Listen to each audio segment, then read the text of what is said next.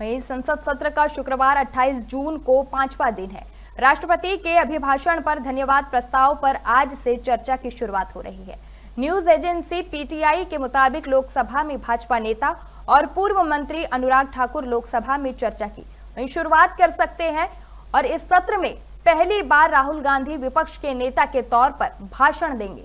संसद में जाने से पहले राहुल गांधी ने कहा, मैं पीएम से रिक्वेस्ट करता हूँ कि नीट मामले पर प्यार से और अच्छी तरह से रिस्पेक्टफुली चर्चा करनी चाहिए। वहीं देश के युवा घबराए हुए हैं। उन्हें नहीं पता क्या होने वाला है। संसद यह मैसेज जानना चाहिए और उनको भरोसा मिलना चाहिए कि सरकार और विपक्ष उनकी चिंताओं को लेकर एक साथ है। उधर राज्यसभा में धन्यवाद प्रस्ताव पर चर्चा की शुरुआत भाजपा नेता सुधांशु त्रिवेदी कर सकते हैं। 24 जून से शुरू हुआ सत्र 3 जुलाई तक चलेगा। वहीं राज्यसभा में पीएम मोदी 3 जुलाई को चर्चा का जवाब दे सकते हैं।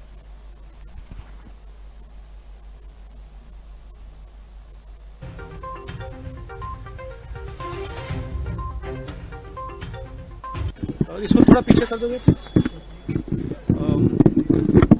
कल ऑपोजिशन के जो फ्लोर लीडर्स हैं सबकी मीटिंग हुई।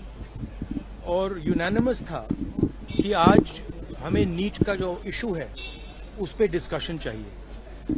हिंदुस्तान के स्टूडेंट से मैं कहना चाहता हूँ, ये आपका इशू है और हम सबको लगता है इंडिया गठबंधन को लगता है कि आज सबसे ज़रूरी बात आपकी है, क्योंकि आप हिंदुस्तान के भविष्य हो।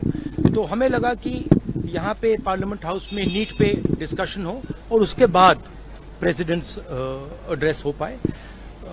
और मैं रिक्वेस्ट करता हूँ प्रधानमंत्री जी को कि ये युवाओं की इशू है और अच्छी तरह प्यार से डिस्कशन होना चाहिए रिस्पेक्टफुली डिस्कशन होना चाहिए। हम रिस्पेक्टफुली करेंगे।